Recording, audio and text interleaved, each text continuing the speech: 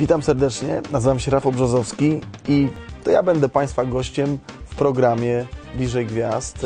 E, rozmowa zapowiada się bardzo, bardzo ciekawie, więc serdecznie wszystkich zapraszam.